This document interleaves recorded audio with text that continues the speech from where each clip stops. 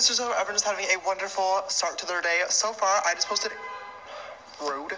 I just posted a brand new photo over on Instagram. So if you're from the Snap Story fam, go double tap and leave some angel emojis in the comments and I'll be liking and spamming some of you guys back because I'm in the best mood ever and I love you all the most ever in the world. So go double tap, go check it out. Mwah.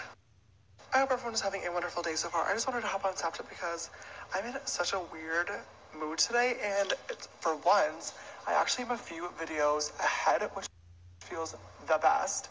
Um, Friday's video is my collab with Jeffree, and I am so excited for you guys to see it. Like, these videos are pretty awesome, and I also have next Tuesday's video already done as well.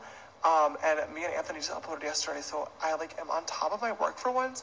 And my editor's over today, and she's editing up a storm, and it just feels very, very weird because I don't really have much to work on right now.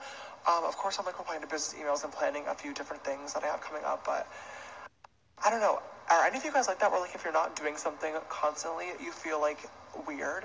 Like when I'm not working on something 24/7, I feel like really defeated and unmotivated and unmotivated, demotivated, not motivated. Hello, I'm just in a really, really weird mood tonight. But um, it's important to focus on the positive and not let like a lack of things to do get to you. I guess if you're like me and you need to be working at all times. Um, I just uploaded yesterday. The video is already a million views, so thank you guys for all the support and love. Um, no matter how many hate comments I get about my singing or things being auto-tuned or pre-recorded or lip-synced, yes, hello. Obviously, that is how every singing video ever works that you guys have ever seen. Sorry, I hate to break it to you. Um, I'm still gonna do it because I really, really love it, and it's so fun for me.